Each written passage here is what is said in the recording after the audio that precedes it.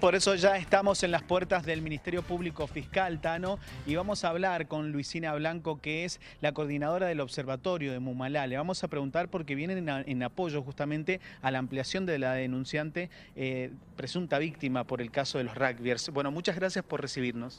Muchas gracias a ustedes por, por la invitación, por la difusión de estas problemáticas. Eh, y siempre sabemos que cuando denunciamos a personas que eh, sus patrocinantes son personas que están ligadas al poder, cuando están en un lugar de, poder porque fueron un grupo que, en, este, en este caso puntualmente abusó de ella, eh, estás en una situación de indefensión y siempre es importante el acompañamiento para no, no sentirte sola. Y además la ley 26.485 plantea de que las mujeres que transitan cualquier situación vinculada a la violencia de género pueden estar acompañadas en cada una de las instancias para la salida o la erradicación de esta situación de, violencia. Luisina, te pregunto, ¿tuvieron algún tipo de contacto con la denunciante? Bien, ella se ha contactado a través de las redes para solicitar el acompañamiento justamente por esta situación de, esta indefensión que muchas veces eh, se siente en, estos contextos. ¿Cómo se mostraba en esos chats que pudieron compartir, si es que se puede también eh, dar a conocer, digo en cuanto a quizás la persona en esos momentos o en estos momentos se encuentra sola, ¿no?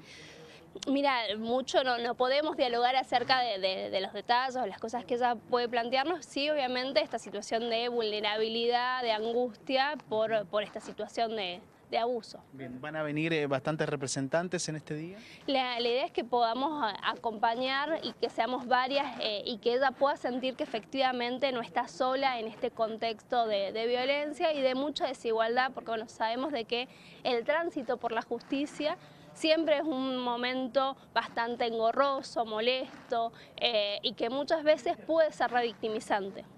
Se dieron a conocer datos eh, muy importantes eh, a nivel nacional, también en la provincia, en cuanto a femicidios, cómo estamos en la provincia respecto a este tema y dar justamente los consejos necesarios para que las personas realicen las denuncias correspondientes. Bien, en nuestra provincia se perpetraron seis femicidios, de los cuales son tres femicidios directos, dos femicidios ligados a economías delictivas y un femicidio vinculado por interposición en la línea de fuego.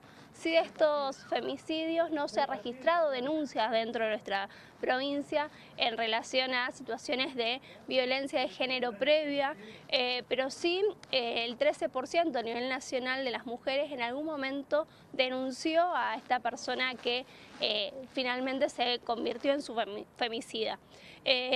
y siempre el consejo es animarse a denunciar. Hoy en nuestra provincia existe la herramienta de la denuncia online, que es una herramienta que busca o intenta eh, evitar los procesos de revictimización eh, y que eh, muchas veces para no exponernos al sistema judicial es una herramienta que es sumamente válida y que nos permite ¿no? poder solicitar tanto una denuncia penal por violencia como también a través de la página del Poder Judicial poder solicitar medidas de protección, después obviamente se es citada para poder ampliar, pero bueno, son dos herramientas que buscan o al menos intentan evitar los procesos de revictimización. ¿Se han incrementado la cantidad de denuncias en este año, digo, respecto a otros años? Mira, la verdad que em, están más o menos en el mismo nivel de, denuncia, no hay demasiada variación. ¿Cuántas eh, tienen por semana aproximadamente o por mes quizás? Mira, nosotros no, tenemos el dato específico del Ministerio, eh, pero al menos en los espacios de, trabajo en los que transito eh, se mantiene una demanda bastante constante de, mujeres que transitan situaciones de, violencia. El número específico no te lo podría dar en este momento porque no lo tengo a mano pero, pero sí se ha mantenido el más o menos el mismo promedio de, denuncias. Sí, lo que claramente ha disminuido es la cantidad de llamados al 144, porque bueno, la línea eh, ha quedado con muy poco personal que puede registrar efectivamente cuántos llamados se hacen. Esto es preocupante, ¿no? Totalmente, porque es una línea que se venía difundiendo y que ya estaba bastante internalizada por eh, la sociedad en general, tanto para llamar, para pedir qué orientaciones tener, para aconsejar a alguna persona cercana, como también mujeres que transitasen situaciones de, violencia. Eh, entonces, que hoy en la línea que se difunde tan masivamente, llamar 144 frente a una situación de violencia de género, esté vaciada o esté saqueada, es altamente preocupante.